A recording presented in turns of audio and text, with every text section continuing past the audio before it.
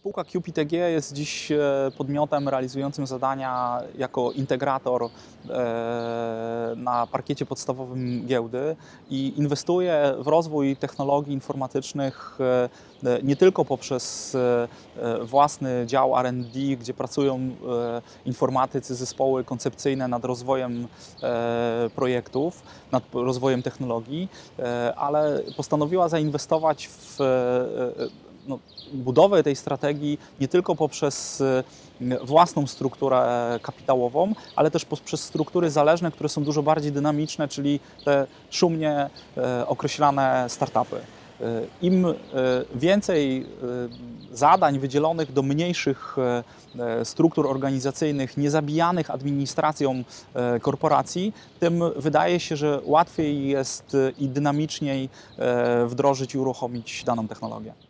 Inwestycje w startupy e, na poziomie e, kilkudziesięciu procent ze strony inwestora kapitałowego e, są pewnego rodzaju ograniczeniem mm, ściągania pomysłów, które e, są tylko pomysłem, ale nie e, uświadomionym albo takim, w który sam pomysłodawca nie do końca wierzy. My dzisiaj uważamy, że e, pokazanie wiary to nie tylko opowiedzenie o biznesie i jakby zaangażowanie osobiste na 100% realizacji w taką spółkę, w taki startup, ale to również jakby wydanie poza swojego know-how swoich środków. I te dwa argumenty związane z mm, inwestowaniem przez pomysłodawcę e, są dla nas przekonujące.